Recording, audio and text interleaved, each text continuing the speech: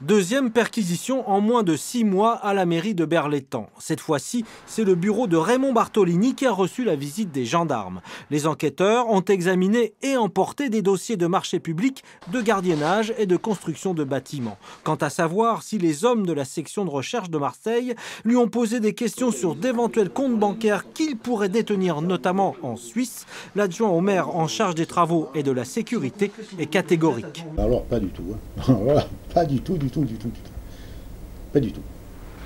Le 1er juillet dernier, Raymond Bartolini était convoqué et placé en garde à vue par les gendarmes de la section de recherche de Marseille.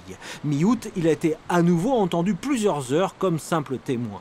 Le 14 septembre prochain, Serge Andréoni, l'actuel sénateur-maire PS de Berlétan, pourrait être mis en examen pour complicité de trafic d'influence, six jours après la convocation de son ami Jean-Noël Guérini, sénateur lui aussi et président du Conseil général des Bouches-du-Rhône.